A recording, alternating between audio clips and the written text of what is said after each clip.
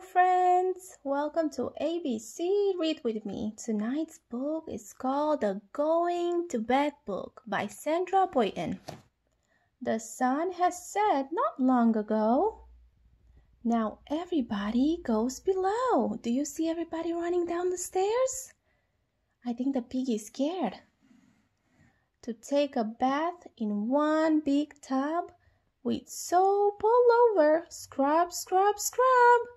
Do you scrub when you take a bath? Well done.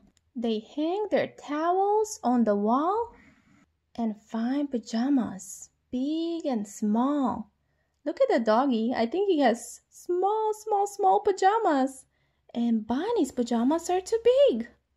With some on top and some beneath, they brush and brush and brush their teeth.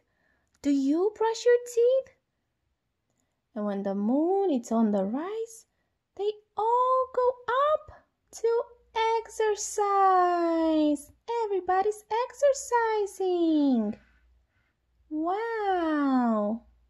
And down once more, but not so fast. They're on their way to bed at last. The day is done. They say good night, and somebody turns off the light. Make sure you turn off the light if your lights are still on, but ask a parent. The moon is high, the sea is deep. They rock and rock and rock to sleep. The end. Thank you so much for watching our story time, you guys. Sweet dreams. I hope to see you next time. Bye bye.